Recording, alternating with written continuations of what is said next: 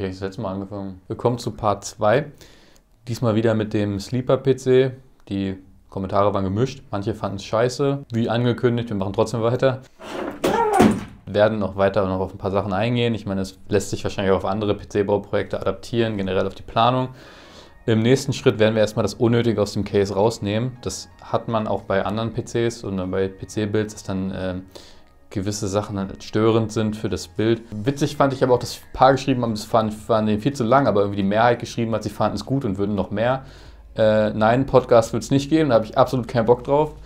Und es würde viel zu lang werden. wir werden das Case jetzt vorbereiten und äh, hatten uns jetzt schon geeinigt, dass wir diesen Steg hier lassen, damit wir eine Fläche haben, an der wir den Radiator befestigen können. Wir haben auch nur einen Radiator vorne für das ganze System wird schon schief gehen. Ich versuche übrigens das ganze Projekt technisch so zu, zu planen und zu legen, ne, dass wir auf einen neuen Ryzen 5000 irgendwie setzen können. Das wäre natürlich cool. Wahrscheinlich guckt das gerade irgendein Maler und äh, regt sich darüber auf, wie scheiße ich hier das abklebe, aber muss damit leben. Legen wir gleich mal los.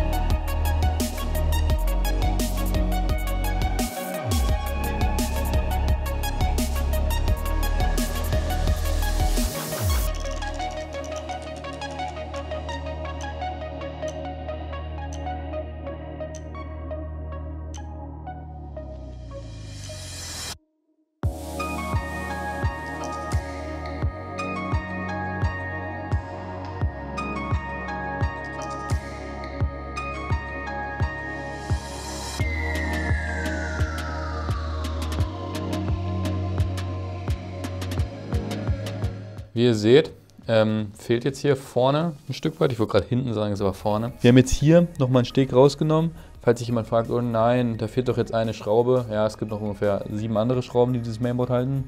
Ich weiß nicht, ob es wirklich sieben sind, ist mir auch egal. Auf jeden Fall ist ein Steg oder ein, ein Punkt jetzt weg. Den haben wir extra breit rausgenommen, damit wir hier dann schön mit den Kabeln durchgehen können, die dann hier ins Mainboard reingehen. Und ja, im nächsten Schritt wird es dann halt noch schwarz lackiert. Und dann schauen wir, was wir noch für die Folge kriegen. Wir wollen jetzt ein bisschen mehr hier reinpacken, damit es halt nicht zu langweilig wird.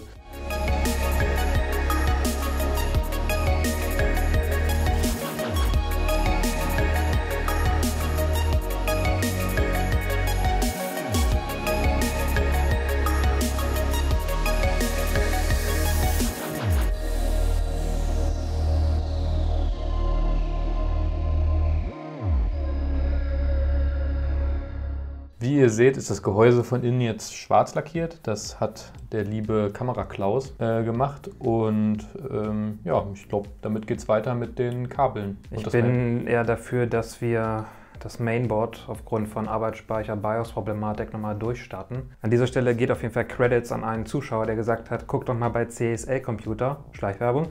Aber die haben das als Aufrüstkit im Bundle gehabt mit einem Mainboard. Habe ich halt einfach das Kit gekauft, um die CPU zu bekommen. Was man halt so macht.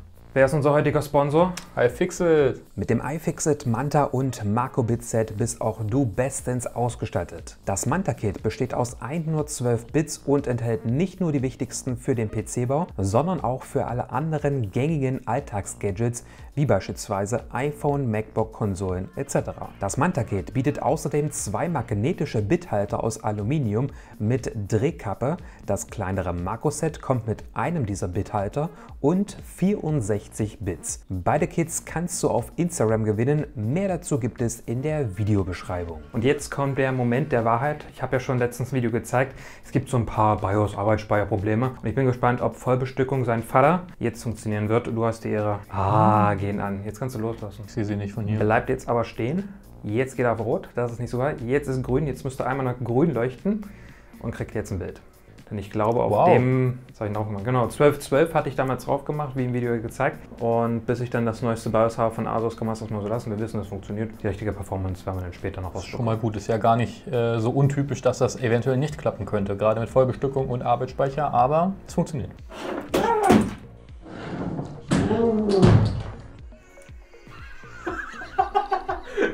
Scheiße. Was war das denn? What the fuck? Ich weiß es nicht.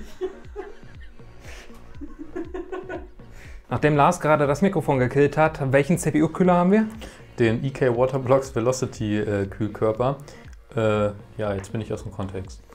Mit Addressable RGB. Ja, Lars ist gerade so ein bisschen durch, weil er ja tollpatsch ist. Und äh, gerade frisch eingetroffen hat der DRL-Boy gerade frisch abgeliefert. Ist auch etwas für euch mit dabei. Und zwar das Manta als auch das Marco-Kit, wo gerade die Verpackung vom Velocity noch so ein bisschen davor steht. Und in Kürze gibt es dann auf Instagram das Ganze zu gewinnen. Und was gibt es noch auf Instagram?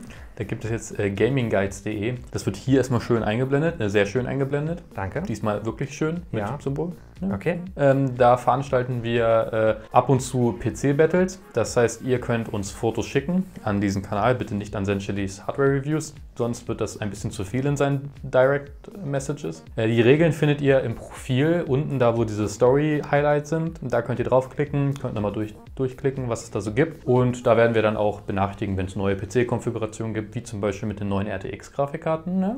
Das wird jetzt eigentlich Tetris für Reiche, um es mit deinem Wort zu sagen. Und ähm, das gute Netzteil kommt jetzt hier rein. Und äh, die Farbkombination sollte mittlerweile klar sein. Es wird schwarz-gelb. So, und äh, jetzt ist die Herausforderung.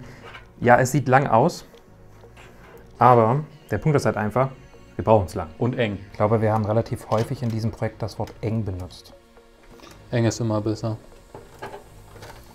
Genau, wir müssen da, glaube ich, noch relativ zentral rüber. Weil genau hier an diesem Steg nicht. Okay, und dann hätte ich nämlich gesagt, verzichten wir auf irgendwelche Cable-Coms. Dafür haben wir einfach keinen Platz. Und ziehen die anderen Kabel, die jetzt hier noch unten drunter sind, so ein bisschen drunter. Das ist jetzt nicht schön, Ja, das wird ja noch schön gemacht. Das ist Genau. jetzt das erste Mal. wir brauchen ja erstmal nur ein Testing. Beim Frontpanel müssen wir gucken, dass wir den Stecker noch umbauen, weil der passt nicht auf den typischen standardisierten Anschluss. Der ist halt irgendwo so HP-technisch. Ne? Thema Grafikkarte. Wir hatten ja eigentlich ursprünglich geplant 3070. Dann sind wir uns eigentlich schon in der Zeit, weil gestern war Release von 6800 respektive XT. Natürlich haben wir nichts bekommen. Das Problem ist, für Influencer Deutschland hat AMD keine Karten. Wir nehmen einfach, eine, einfach irgendeine Grafikkarte, die jetzt hier in der Nähe ist. Also was haben wir denn hier so? Eine 3070, passt Hm. nicht. Was haben wir hier noch? Ah, die ist schön. Wir nehmen natürlich diese Grafikkarte von MSI. Oh, da sparen wir uns auch die, die Kühlung mit, der Wasserkühlung. Ne? Ja, hier ist ja schon ein Kühlkörper drauf. Finde ich gut. Perfekt. Also ich meine, wenn, wenn wir jetzt hier gucken, also oh, das war äh, seitenverkehrt jetzt.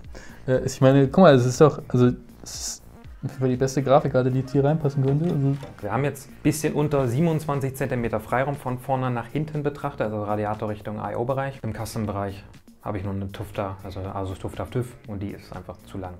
ist auch das Board an sich zu lang. Messen, messen, messen. Von I.O.-Blender zu... 24. Das Gute ist, es kommt eh schon ein Block für die Karte rüber. Es ist schon, wird morgen zugestellt. Wir werden wohl eine 3080 verbauen. Yay! Das heißt, wir werden sogar wieder höher gehen und es passt dann natürlich wieder mit der CPU, weil ein Ryzen 9 5900K Ryzen 9 5900K. braucht natürlich auch was Warte. Fettes. Was? Hm? 5900K? Äh, sorry, 500 5900X. Wir Ich glaube, ja glaub, bei Florian schlägt dich bald, wenn roten du das Frisur. Das kombinierst. Es tut mir leid, Intel, das war aus Versehen.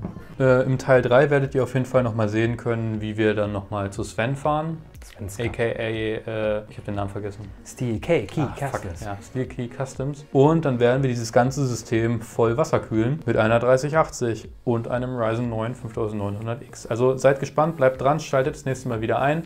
Folgt gamingguides.de auf Instagram, folgt Zen Chilis Hardware Reviews auf Instagram. Folgt Ähm, Lars auf Instagram. Wenn ihr darauf Bock habt, folgt auch mir. Und lasst ein Abo da. Du hast einen. RGB-Hund. Was will man mehr? RGB macht alles besser. Auch meinen Hund.